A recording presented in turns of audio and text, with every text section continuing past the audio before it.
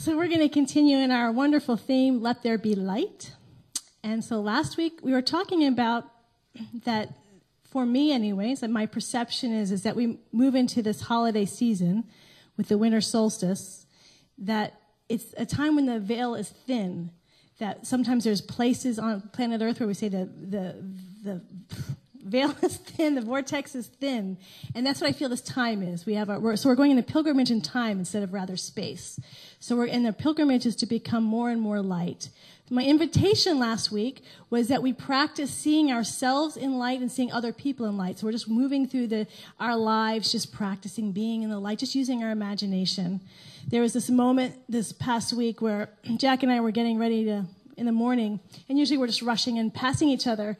And spontaneously, without saying a word, we both just stopped and we just stared at each other. And for a very long time, it wasn't just like a few minutes, we just breathed. And suddenly Jack said, I'm just seeing the light in you. And I said, That's exactly what I'm seeing. And it was just this beautiful moment of seeing the light. And when we practice it more and more, that light starts to grow and become more and more real and alive. At the same time, and I'm only speaking for myself. Next week, we're going to begin, uh, people are going to share, they're doing their power shares of how you're demonstrating walking in the light in your life. But I also say that it was challenging. That what I noticed is very, it was very hard to hold myself or hold other people in light when I'm moving around. That I had to sort of just, it, we had to stop. Like you can't do it, in, or at least I can't. I can't say we can't. I can't very well see other people in the light if I'm moving around or I'm on my to do list or I have my things to do. It's a stillness. And so part of today's talk about let and the walls come tumbling down is also about focus.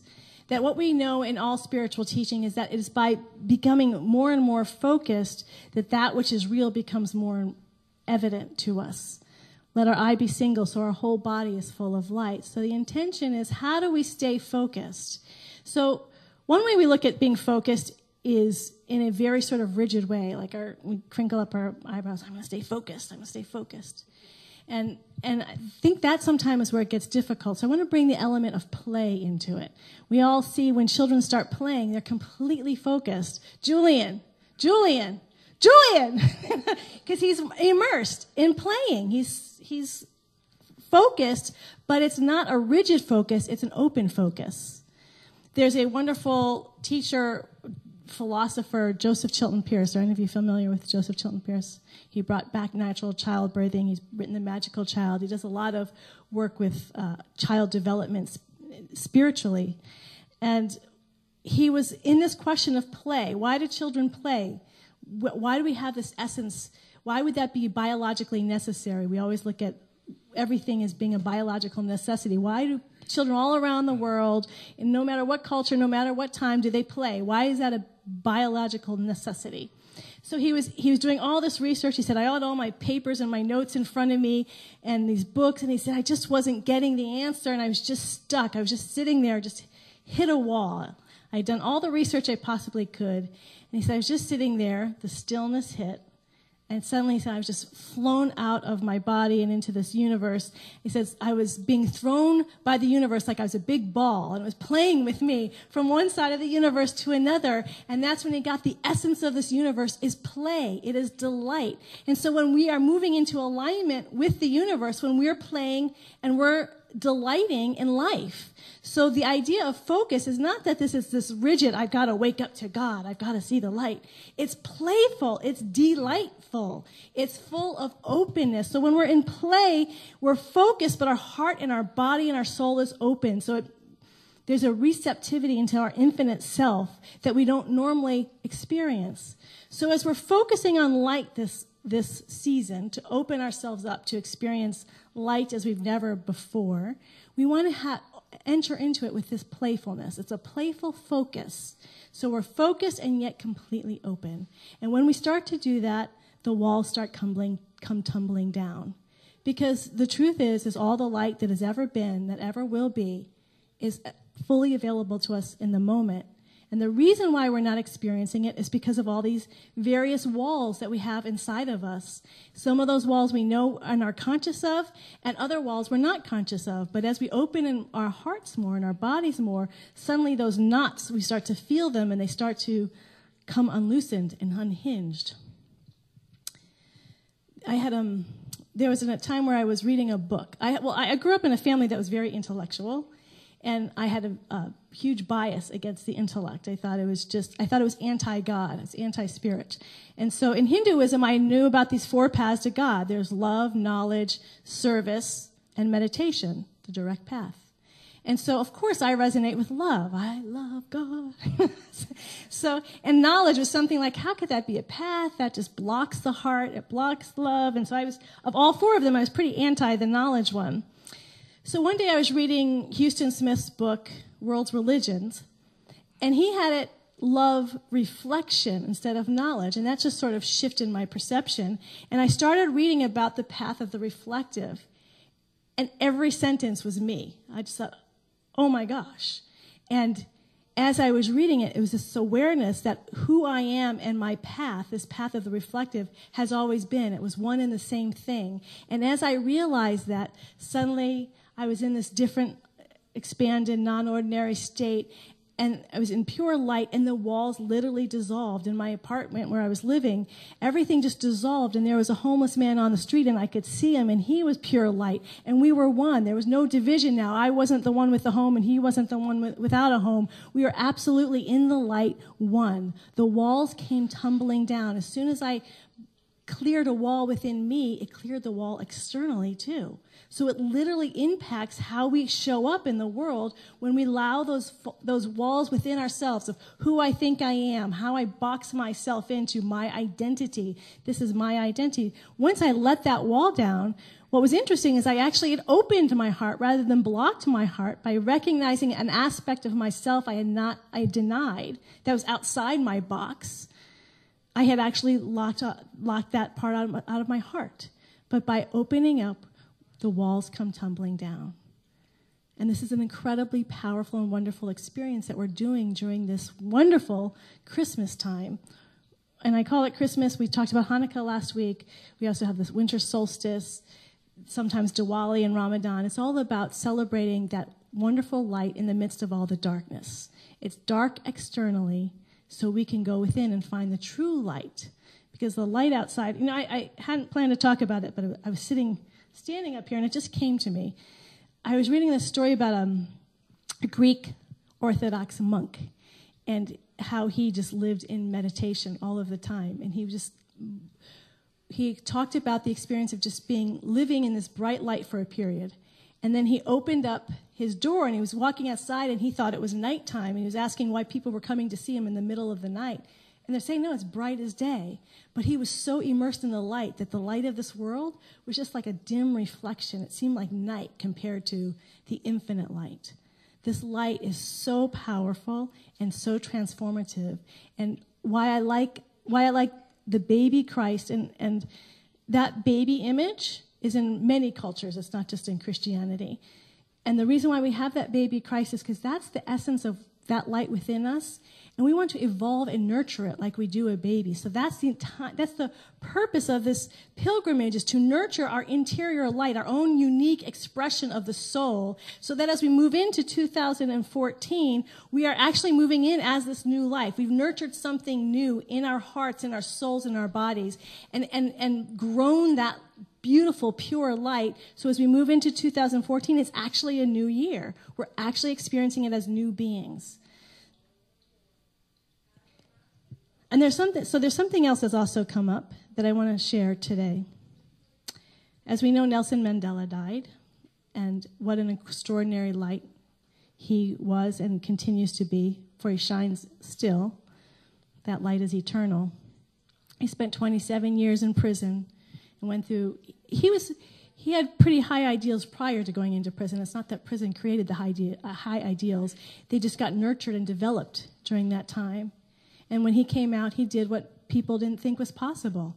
They thought expected bloodshed, and instead he did created forgiveness and reconciliation. But there's something that sticks with me. There was I was in a conversation with someone who was talking a lot about the darkness and that there's a lot of dark energy around us too. And I was being with that, and um, and and that we need to fight the the dark energy. but if we fight that energy, I think in some ways that gives it power. We don't want to ag- ag- deny that it's there, but we don't want to, to feed feed that darkness. What what Mandela did, and I think sometimes we forget. I mean, we, a lot of people are celebrating him, but we watched a documentary on him last night. And what strikes me is, I mean, they showed the history back in the 40s and the 50s. We forget how much pain and suffering and violence the black community was living in every day for, for a long, for centuries. And that that's a lot to forgive. When we look at, oh, this Christmas season is very difficult, it's a gift that our problems, what our problems are, because that's a way to practice the light and forgiveness and reconciliation ourselves. That's how we honor someone like Nelson Mandela, is to expand in our own light, because these, the darkness can be very dark, and it can be very painful and, and hurt in a very deep way. And often at this time of year, it's intensified. Even as the veil is more thin, I think at this time of the year, we feel everything more intensely. We feel the pain, we feel the loneliness, we feel the hecticness, the craziness. All the stuff that comes up is more intensified. And so it demands us to even more go deeply into the light. And so someone like Nelson Mandela reminds us that this light is infinitely powerful. It's not a wimpy light. It's not, you can have this one little beautiful baby and yet it lights up the entire universe. There was a moment in the documentary that we saw last night where this is after Mandela came out of the came out of jail and de Klerk, who was the prime minister at the time, was denouncing some of the violence in the black community. And Nelson Mandela got up right after him and he said, "Well, you are a uh, you're, you're not even supposed to be the prime minister. You're an unfairly leader, unfair leader of this country, doing horrible things. And you don't think I'm going to respond? What you're doing now, you have morality. When everything what you do is immoral, I'm going to respond. I'm going to reply to this. This is not okay. And it was such a strong response, wasn't it? Really, just it was unexpected. He goes, "I am," and he was right at him. So he, yes, he did forgiveness, and yes, he did reconciliation, but he did it standing strongly in the light. And for me, that's what this why we're cultivating how, this light within us is something that needs to be strong.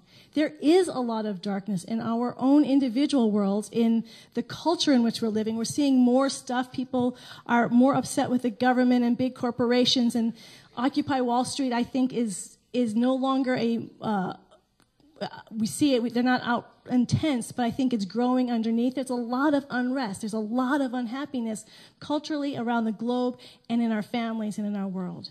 Now we have to cultivate the light within us. It is something that to me is essential. If we believe anything of what we're saying, more than just words, more than just concepts. If we actually believe this, we have to become powerful forces of light. We need to stand in strength in light and stand in what's true in light in our families, when people are not acting, we need to stand in the light. In our communities, we need to stand in the light. In our culture, we need to stand in the light. That this light is needed now more than ever because there is this incredible birthing that's happening and we want to birth the infinite light and it only happens through us. This old idea that it's going to happen through someone else, through some special person, it's not. It's happening through every individual that's in this room right now. And so we have to say, how serious am I in cultivating this light within me? Is it, is it something I'm only sort of committed to, kind of committed to it, or is it something that is my passion and in my heart? And of Course in Miracles says there's only love and fear.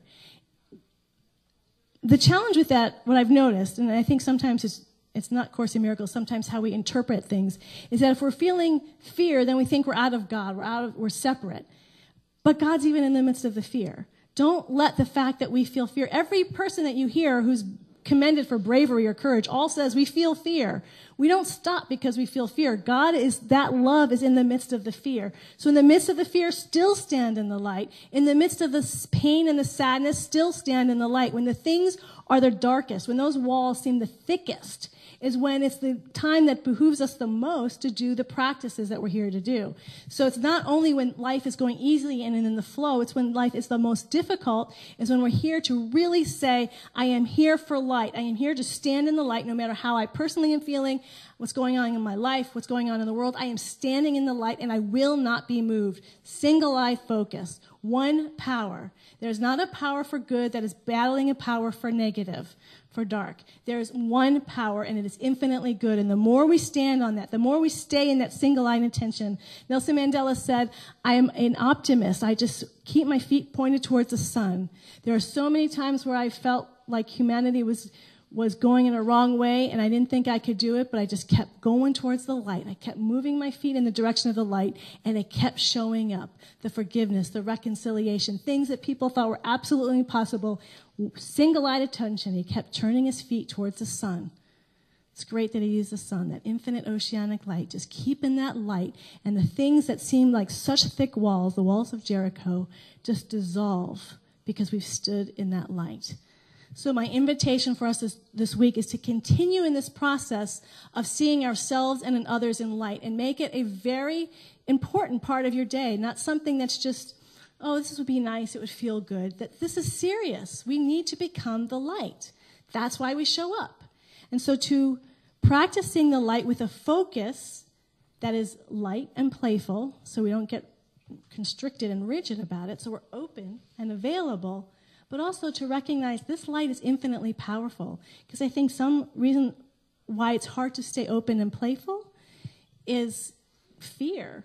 And that fear is what, what makes us want to constrict. Even in the fear, try to keep your heart open.